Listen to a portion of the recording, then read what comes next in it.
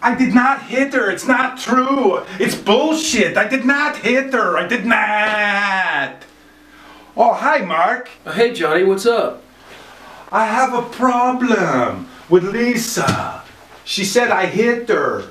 What? Well, did you? No, it's not true. Don't even ask. What's new with you? Well, I'm just up here thinking, you know? I got a question for you. Yeah. Do you think girls like to cheat like guys do? What makes you say that? I don't know. I don't know.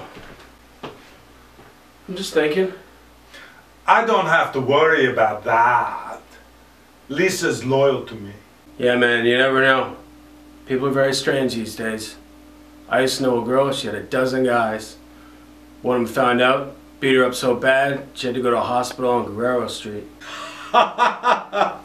what a story, Mark. Yeah, you could say that again. I'm so happy I have you as my best friend.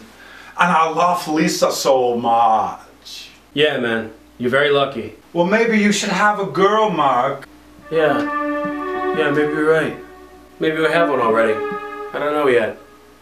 What happened? You know that girl? What's her name? Betty? Betty? Yeah. Yeah, we don't see each other anymore.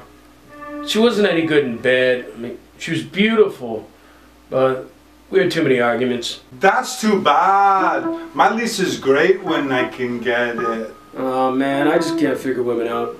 Sometimes they're just too smart, just flat out stupid, or just downright evil. It seems to me that you are the expert, Mark.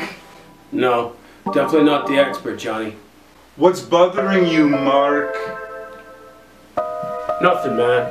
Oh, do you do you have some secret? No. Come on, Forget talk it. to me. Forget it, man. Come on, you Forget have a secret. You talk to me. Forget, It. I'll talk to you later. Well, whatever.